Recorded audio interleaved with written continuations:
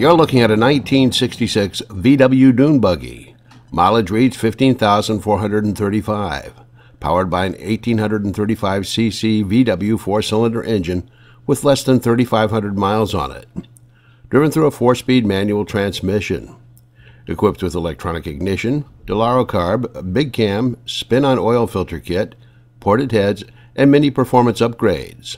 This buggy is fast and well built. It has a ball joint front end and like new tires. AM, FM, CD, MP3 stereo, and an illuminated whip antenna with flag. All gauges are working, the body has no cracks, seat belts for four people, and a top in good condition. The engine is well built and it does not leak oil. Please contact Doug at 530-333-3399 with any questions or to make an appointment to preview the 1966 VW Dune Buggy.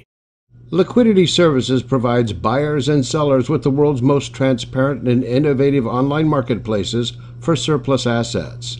We add new inventory weekly with merchandise from government agencies, corporate clients, and commercial businesses.